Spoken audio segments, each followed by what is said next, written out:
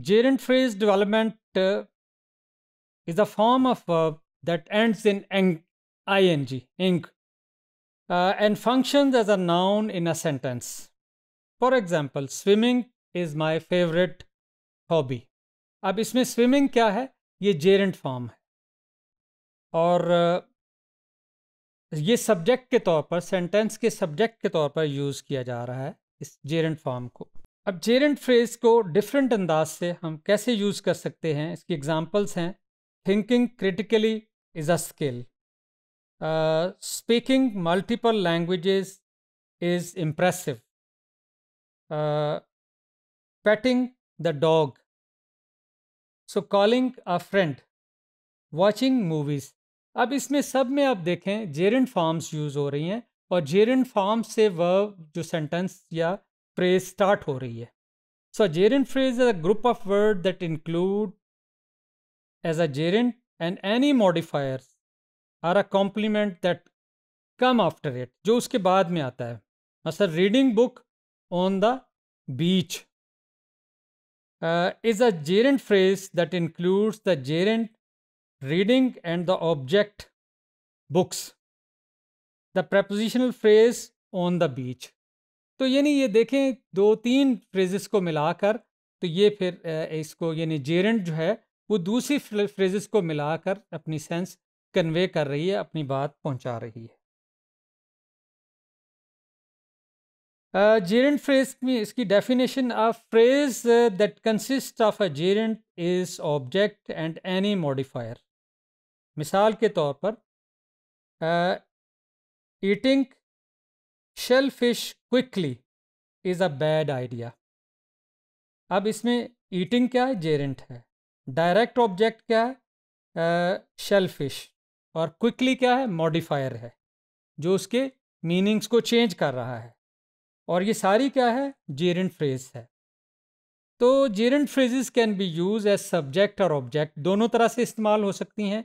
Compliments in a sentence और किसी sentence को भी ये कॉम्प्लीमेंट करती हैं just like other noun phrases दूसरे फ्रेजेस की तरह। For example his favourite hobby is swimming तो स्विमिंग उसकी फेवरेट हॉबी है, ठीक है? अब ये दूसरी तरह इसको यूज़ किया गया, इसको स्विमिंग एंड पे लाया गया है, ठीक है? और swimming as a complement of a verb तो ये स्विमिंग एक वर्ब को कॉम्प्लीमेंट कर रहा है। अब कुछ और एग्जाम्पल्स के साथ मैं आप इसको मज़ीद वाजे करता हूँ। देखें gerund phrases can also use as object of a preposition जैसे she is interested in travelling to new places और gerund gerund phrase can be develop by using different verbs in gerund forms as well as क्योंकि किसी भी verb को हम I N G लगा के उसको बनाएँगे तो वो जेरेंट फॉर्म में कन्वर्ट हो जाएगा। ठीक है? और ये कॉम्प्लीमेंट करता है फ्रेज को। अब मिसाल के तौर पर इसको डिफरेंट इसकी जो डायमेंशन हैं इस्तेमाल की, उनको देख लेते हैं। As the subject of a verb क्या है? Running is a good way to explore अब रनिंग यहाँ जो है, ये सब्जेक्ट के तौर पर इस्तेमाल हो रहा है।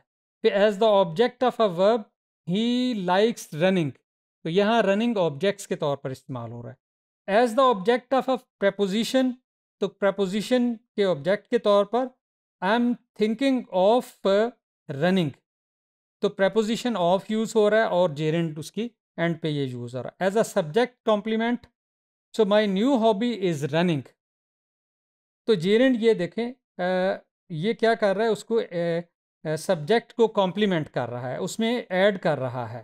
ठीक है?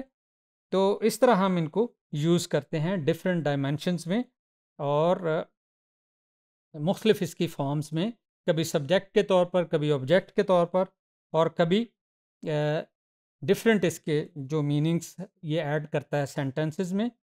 और नेक्स्ट इसकी एग्जांपल्स हम कुछ देख लेते हैं तो teaching English is my passion इनके इस्तेमाल करने से जो स्पीकर है वो अपनी लैंग्वेज को इफ़ेक्टिवली और क्लियरली यूज़ कर सकता है। और उसकी जो जू जू इनको यूज़ करेगा, उसकी लैंग्वेज में जो उसकी कॉम्प्लेक्सिटी में इजाफा होगा, उसकी इफ़ेक्टिवनेस में इजाफा होगा और डिफरेंट मीनिंग्स वो कन्वे करेगा और डिफरेंट हिंट्स देगा। तो मिसालें हम इसकी देख लेते हैं। Teaching English is my passion फिर नेक्स्ट है everyone in my family loves playing here और most people are scared of facing their fear और फिर my biggest mistake was trusting him तो ये डिफरेंट अंदाज से ये जो है, इसको जेरेंट फॉर्म्स को यूज़ किया गया है और डिफरेंट सेंसेस में और डिफरेंट इसके मीनिंग्स को कन्वे करने में।